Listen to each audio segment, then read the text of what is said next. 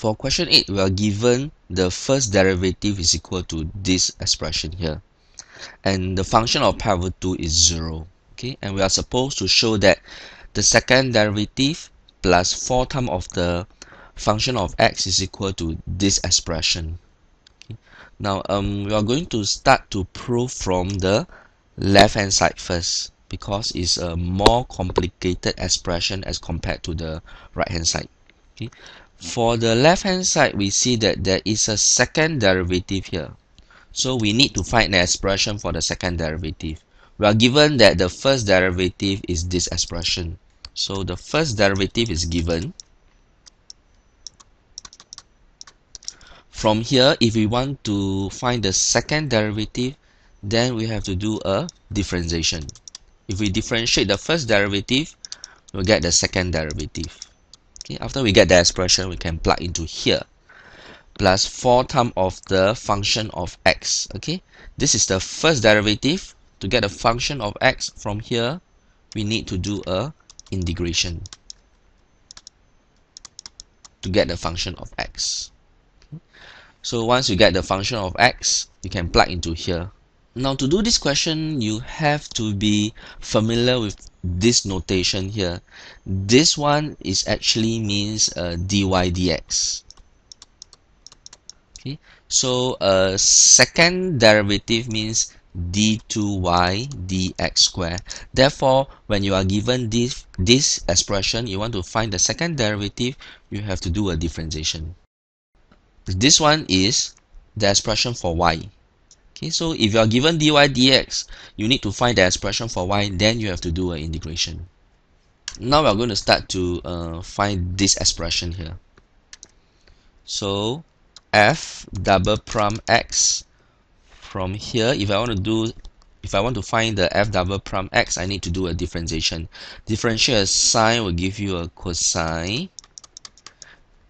You still have to differentiate the 4x here, chain rule, give you a 4 differentiate a cosine will give you a negative sign. Negative negative will be a positive sine 2x multiplied by a 2 so this was simplified as okay. Next uh, I'm going to find this expression here. Uh, this expression here I need to integrate the f uh, prime x. So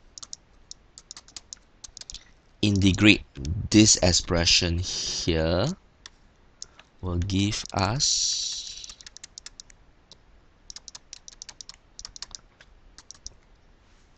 negative cosine 4x uh, for integration we divide by the 4 integrate a cosine is a sine.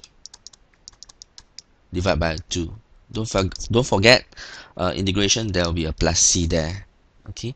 Now um before we can substitute this expression into here and this expression here into here we need to find out the value of c. Okay. To find out the value of c we are going to make use of this information. This information means when x is pi over 2 okay the value of this function will give you a value of 0 okay that means if you are going to substitute the x by pi over 2 here pi over 2 here this whole expression should give you a value of 0 okay so let's uh, substitute uh, the value of x into this expression. Minus cosine 4 times pi over 2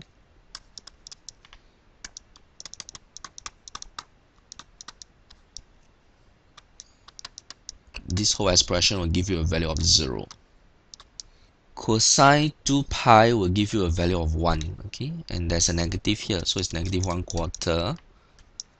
Sine pi will give you a value of 0 therefore c will take the value of 1 quarter okay? So this c will take the value of 1 quarter. Now we're going to start to work on the left hand side of this expression f double prime is this expression here so I'm going to substitute into uh, here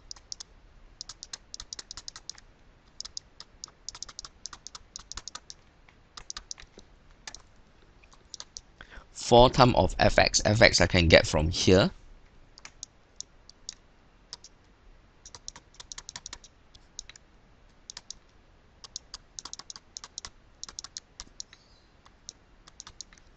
The value of c is 1 quarter. Let's simplify the expression.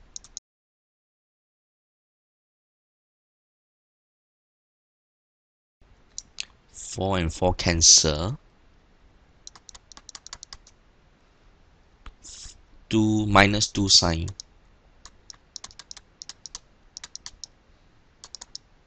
One quarter times four is a one. So this will cancel away this. 4 cosine 4x minus 1 cosine 4x will give you a 3 cosine 4x and we still have a plus 1 here and this is actually equal to the right hand side of the expression